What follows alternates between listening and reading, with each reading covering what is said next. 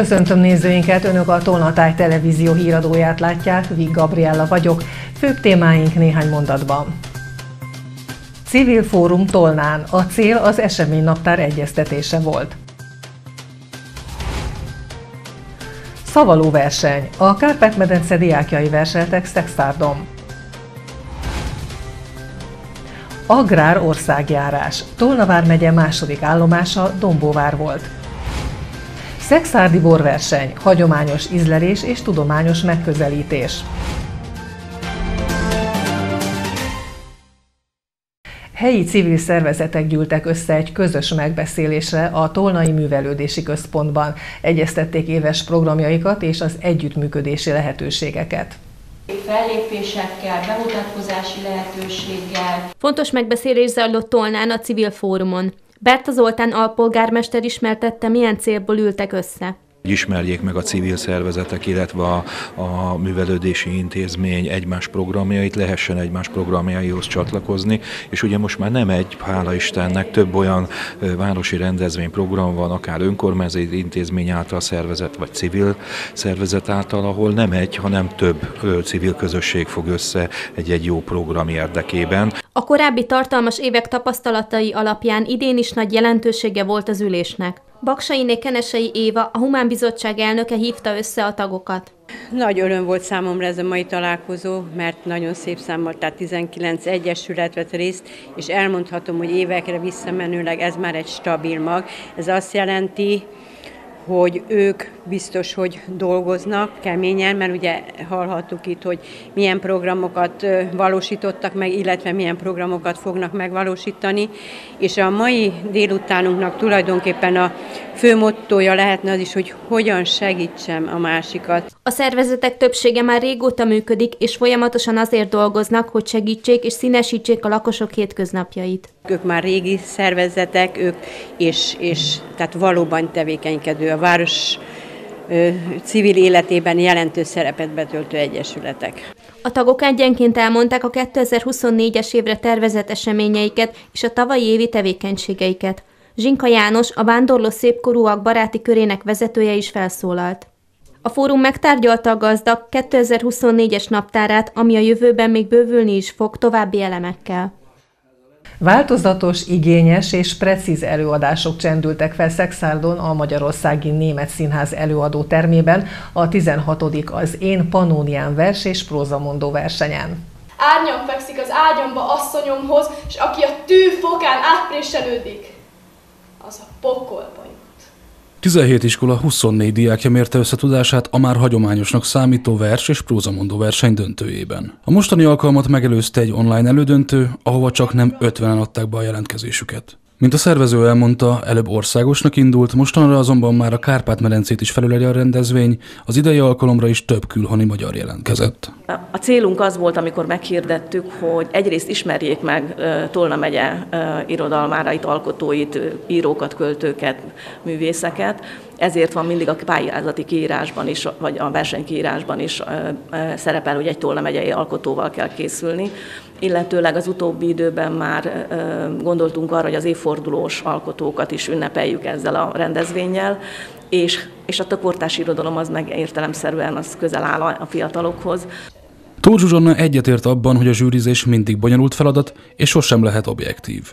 Ő maga is többet keres az előadásokban, mint puszta szavalatot. Ez mindenkinél nyilván más, ezért mondják azt, hogy van minden színpadi műfajban van egy bizonyos szubjektivitás, tehát hogy az embert mi találja a szíven, mivel érez azonosságot. Én nagyon szeretem azt, hogyha a versmondók nem csak szépen beszélnek, hanem pontosan értelmezett gondolatok vannak, a szövegértelmezésből kiolvasható gondolatok vannak, mutatkoznak meg az előadásban, és nagyon szeretem, ha érzelmekkel telített, mert sokan azt gondolják, hogy elég a vers szövegét elmondani, és akkor már megszületik valamiféle előadás.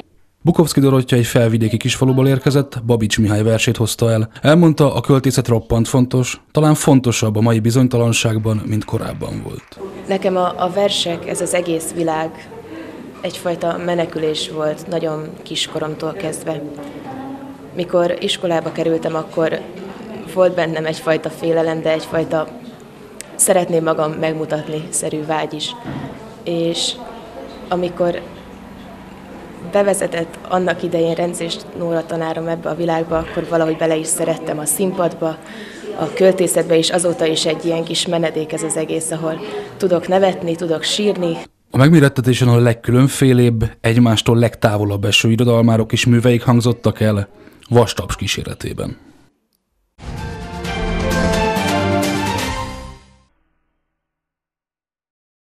Egy parkoló benzinüzemű személygépkocsi belső tere füstölt Szexárdon egy Erkel Ferenc utcai lépcsőház bejáratánál. Az eseményhez a Vármegyeszékhely hivatásos tűzoltói vonultak, akik áramtalanították, majd szellőztetés mellett visszahűtötték a járművet, amelynek a műszerfal alatti biztosíték tábláján keletkezett tűz. A beavatkozó tűzoltó egységek hőkamera segítségével vizsgálták át a gépkocsit. Tolna vármegyei rendőrök közül többen is jutalomban részesültek március 15-e alkalmából. Magyar Arany Érdemkereszt kitüntetésben részesült dr. Marcsek Sándor, rendőrezredes, a Szexádi Rendőrkapitányság kapitányság vezetője. Rendőrségi tanácsosi címet kapott Nikli József rendőrfőtörzsászlós. Az országos rendőrfőkapitányság vezetője pénzjutalomban részesítette Szabó Zoltán rendőrezredest, bűnügyi rendőrfőkapitány helyettest, illetve soron kívül előléptette rendőrszázadossá német Attila rendőrfőhadnagyot. Februárban az egy évvel korábbinál 28%-kal több 77.800 személygépkocsi cserélt gazdát, ezáltal megdőlt a havi forgalomra vonatkozó 76 ezres rekord, amit 2022. márciusában állított be a piac. Csak nem egy évnyi oldalazó mozgás után az év első két hónapjában jelentősen nőtt a belföldi használt autópiac aktivitása. A forgalom nem csupán a használt, hanem az új autópiacon is élénkült. Idén februárban 10%-kal több új személygépkocsit regisztráltak, mint tavaly ilyenkor. 2024 első két hónapjában 151.200 személygépjármű cserélt gazdát, ami 18,7%-os növekedés az előző év hasonló időszakában regisztrált 127.400-as értékhez képest. Az importált használt autók száma ugyanebben az időszakban 18.600 darab volt, ami 9,4%-kal múlja felül az egy évvel korábban mért 17 ezres értéket.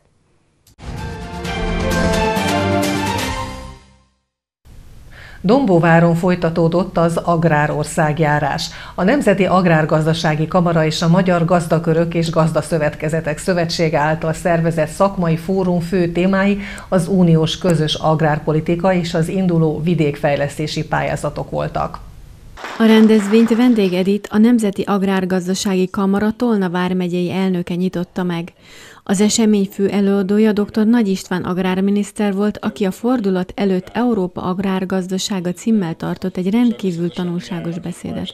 Részt vett továbbá, és köszöntött mondott Potápi Árpád János államtitkár, a térség országgyűlési képviselője, és Pintér Szilárd Dombovár polgármestere.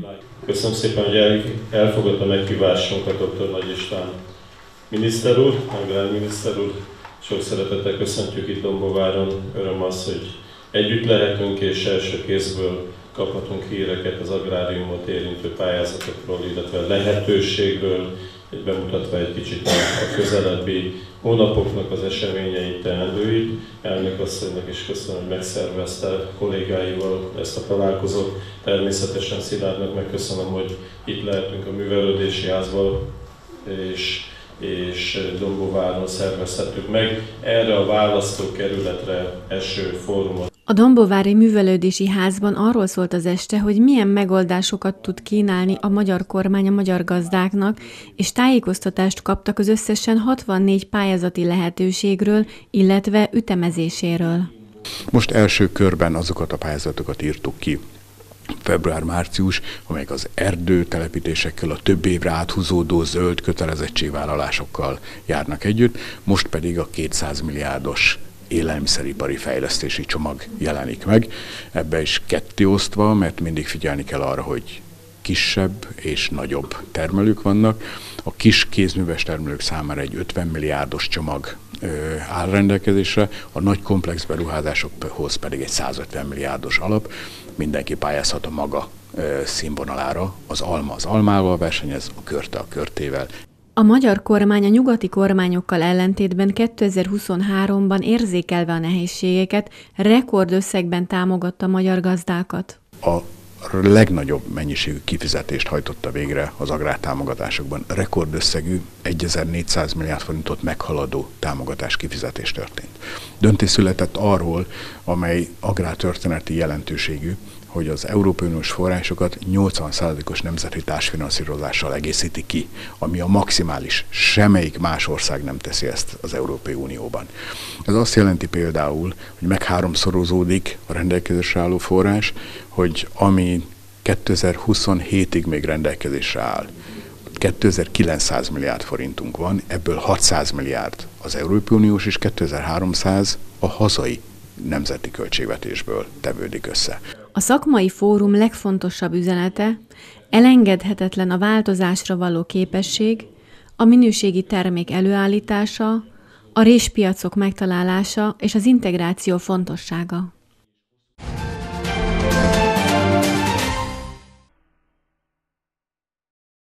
A Tolnamözsi Futszál Sport Egyesület négy hétre győzedelmeskedett az RC Holding Komló futszál csapat vendégeként az MB3-as bajnokság délnyugati csoportjában a 11. fordulóban. Álmoskás kezdés után a vendégek megszerezték ugyan a nyugtató vezető gólt, de a komlóiak egy jó periódust kihasználva 2-1-re fordítottak, ugyanakkor a tolnaiak gyorsan reagáltak. A második játékrész tökéletesen indult, négy gólt is szereztek zsinórban, ekkor váltottak a hazaiak 5 a 4 elleni játékra, aminek köszönhetően két perc alatt két gólt szerezve igyekeztek visszajönni a meccsbe. Ez már nem számított, a vendégek megtartották előnyüket és továbbra is veretlenek.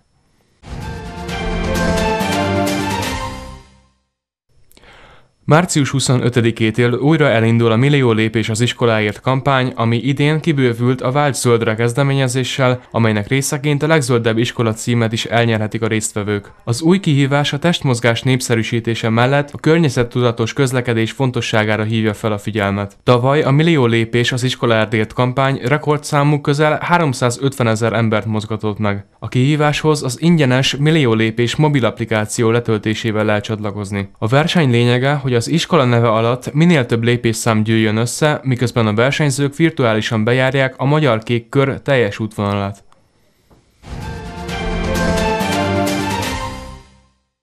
A Kasi U18-as tehetsége Óliás Gergő lett az elmúlt hónap kosarasa a sportiskolánál. Az elismerést Dér Tamás Kaposvárváros alpolgármestere adta át a Kométa Kaposvár kosárlabda klub szombati mérkőzésének szünetében. Óliás Gergő a Dombovári kosárlabda suli közhasznú egyesületnél sajátította el a sportág alapjait, és tehetségének szorgalmának köszönhetően folytatja pályafutását Halmai Dánielhez, Szőke Bálinthoz és Fehérvári Csegőhöz hasonlóan a Kaposvári együttesben.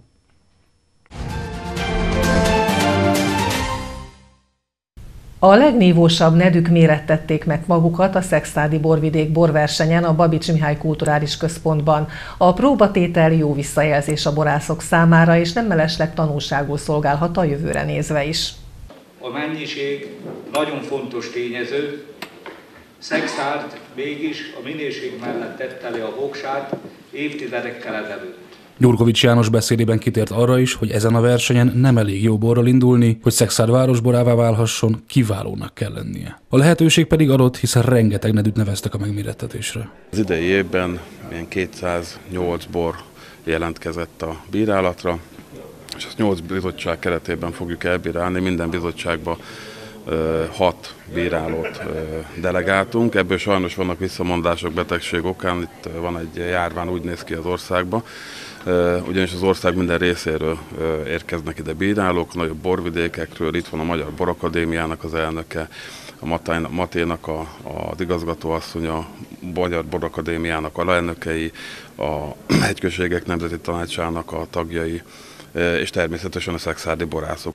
A bizottságokban nem csak borászok, de tudósok, kutatók is helyet kaptak, így nem pusztán a profi ízlelés, de tudományos megközelítés is szerephez jutott az értékítéletek meghozásában rendkívül fontos, azért, hogy el tudjuk dönteni, hogy melyek azok az idei borok, amelyek a legjobbak, melyek azok, amelyek aranyérmes, melyek esetleg, amelyek sampiondíjasak. Én azt gondolom, hogy a szexádi borvidéken mindig jó lehetőségeink vannak nagyon jó borokat kóstolni, hiszen tudjuk jól, hogy ez eleve ez egy nagyon jó vörösboros borvidék, és hát én már előre várom, hogy nagyon finom és nagyon elegáns, jó, mély, robosztus telt vörösborokat kóstolhassak.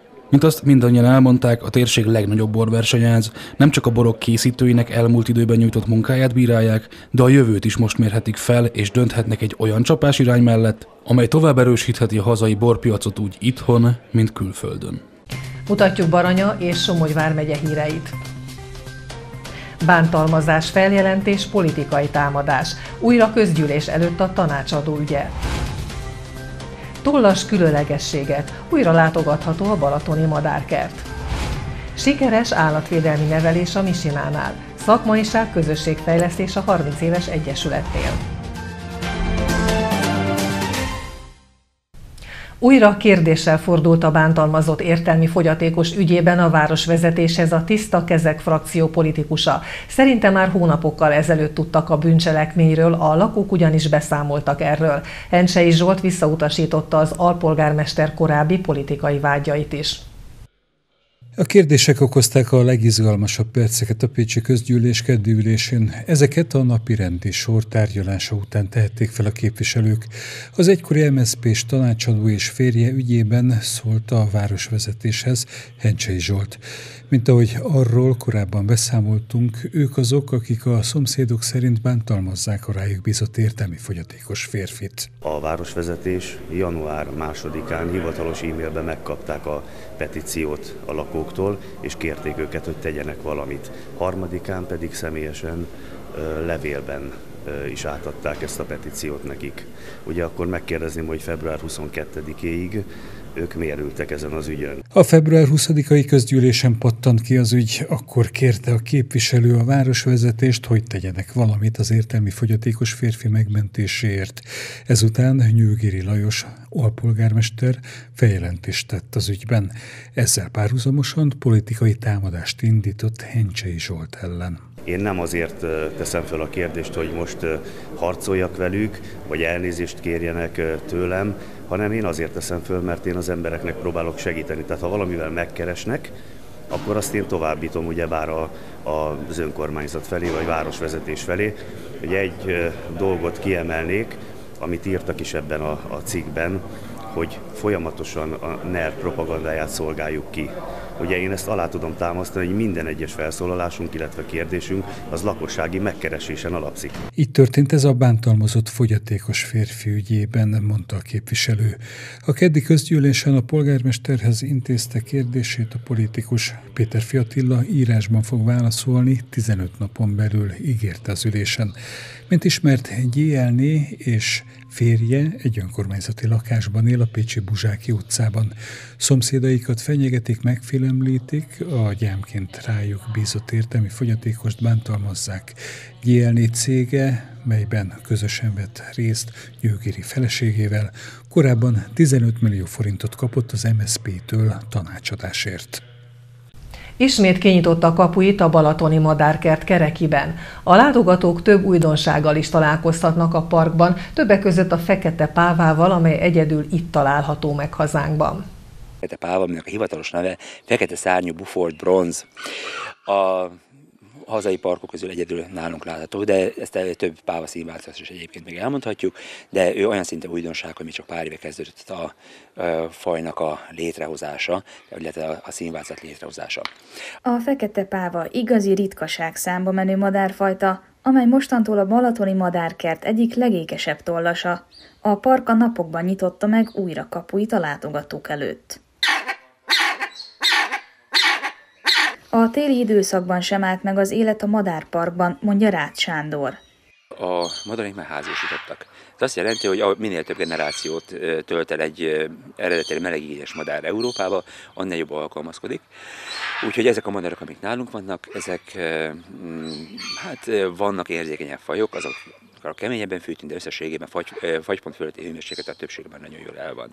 A Madárpark 2018-as megnyitása óta több tízezer látogatót vonzottak a különleges madarak. Idén is sok turistára számítanak a tulajdonosok. Rácz Sándor azt mondja, a ritka madárfajták lenyűgözik a közönséget, de többek között kenguru és nyúl is található náluk. A eh, legnagyobb kuriózumunk az a csupaszarcú hokkó a haciolata, annyiból, hogy Magyarországon először nekünk sikerült most szaporítani. Tehát most azzal ki van nyúlva egy kicsit a nyakunk, hogy ez a madár most itt létrejött, és jelen pillanatban is most pár, pár próbálunk hozzá szerezni, de összességében nálunk lévő fajok, az állatkertek azért túlnyomó rész nem is láthatóak. Meglehetősen igényes, tehát azért vagy kis meleg igényük, van táplálékra való igényük, hely, ö, mm, igény is, amit nem mindenki számára biztosítani. Például a turákok fajok közül van violaturákunk, vörösbóbitás turákunk. A madárkert a tavasz időszakban péntektől vasárnapig várja az érdeklődőket, júniustól azonban minden nap megcsodálhatjuk a különleges tollasokat. Sikeres állatvédelmi nevelés a Misina Természet és Állatvédő Egyesületnél. Fontos számukra a szakmaiság és a közösségfejlesztés. A Misina Állat Otthon sokat tesz nem csak a gazdátlan állatokért, hanem az állatszerető érdeklődők felé is. Ezért kérik, hogy idén is az 1% felajánlások idején gondoljanak rájuk. Idén is indulnak táborok és foglalkozások a Misina Természet és Állatvédő Egyesület Pécs-Somogyi telephelyén. A hagyományt őrizve a nagy sikerű állatközelben tábor ebben a szezonban is várja a gyerekeket, fiatalokat. Hivatalosan áprilistól hirdetik a táborokat. Azonban kicsit más lesz, mint eddig, ugyanis összevonták a kutyás-lovas táborokat és az egyéb állatos programokat, mint a kecskesétáltatást, a nyúlsimogatást is. Avatott be az idei menetrendbe Farkas Tamás az Egyesület elnöke. Hagyományos programjaink közé tartozik természet természetesen a gazdi tanul a kutyaiskola, a kalámkör nevezésű lovas és egyéb állatokkal foglalkozó szakkövünk, amelyek szintén nagyon népszerűek. Örömmel mondhatjuk, hogy talán a jó idő kezdetével is, de hát az ide időjárás miatt azt gondoljuk, hogy már régóta tart ez, egyre nagyobb lesz a látogatottsága ismét a, az állatotthonnak. Ez azért is öröm, mert azért a Covid az bennünket is megviselt.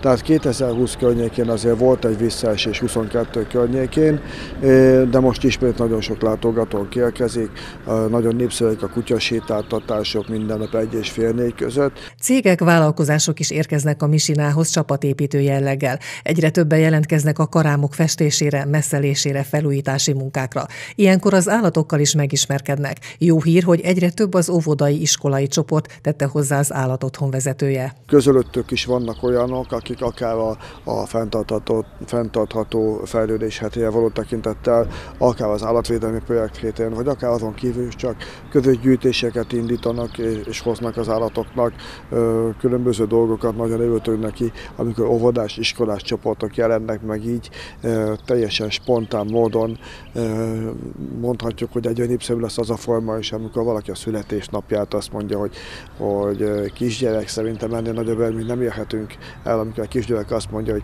hogy ő a születésnapjára olyan dolgokat ki, amit el tud hozni az állatoknak. Szerintem ez nagyon megható, és talán ez egy, egy, egy csúcs annak az állatvédelmi nevelésnek, ami itt elindult. A 30 éves egyesület a megújulásra is törekszik. Szakmailag közösségfejlesztés szempontjából is tervezik a változást. Így elindultunk egy olyan képzéssorozatot, ami elsősorban most ebben a pillanatban még a saját kollégáinknak szól. Ez jelenti azt, hogy, hogy etológia, állatok viselkedése, kinológia egy kicsit a kutyás részekben még jobban belemerülve, de a többi állatcsoportot is sorra véve próbálunk olyan, olyan általános információkat, majd ebből kifejlesztve olyan speciális információkat is biztosítani a kollégáinak, amivel talán még nagyobb odafigyeléssel és szakmai megalapozottsággal tudják ellátni a feladataikat, illetve tudjuk ellátni a feladatainkat, és szeretnénk ezeket a képzéseket kicsit felvilágosító jelleggel majd kibővíteni a hozzánk járó kutyasétáltatókra, önkéntesekre, hiszen az ő számukra is nagyon hasznosak lehetnek ezek az információk. Mint hallhattuk, az állat otthon sokat tesz nem csak a gazdátlan állatokért, hanem az állatszerető érdeklődők felé is. Ezért kérik, hogy idén is az 1% felajánlások idején gondoljanak rájuk. A menhely lakóinak táplálása, orvosi költségei sok pénzt felemésztenek. Mutatjuk Tolna vármegye híreit még egyszer, röviden. Civil Fórum Tolnán. A cél az eseménynaptár egyeztetése volt. Szavaló verseny. A Kárpát-medence diákjai verseltek Szextárdom. Agrár országjárás. Tolnavár megye második állomása Dombóvár volt. Szexárdi borverseny. Hagyományos ízlelés és tudományos megközelítés.